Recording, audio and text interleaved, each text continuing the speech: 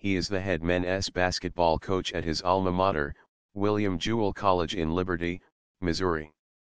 With 869 wins at the end of the 2014-15 season he is among only 47 four-year college coaches, National Collegiate Athletic Association, NCAA, and National Association of Intercollegiate Athletics, NAIA, to reach 700 wins.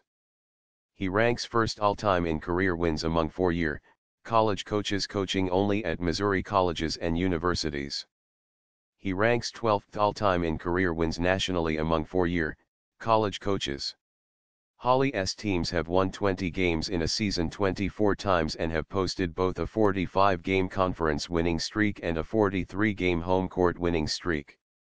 He has received 14 Coach of the Year awards and has been elected to the Greater Kansas City Basketball Coaches Hall of Fame, the Missouri Basketball Coaches Hall of Fame, the NAIA Hall of Fame and the William Jewell College Athletic Hall of Fame.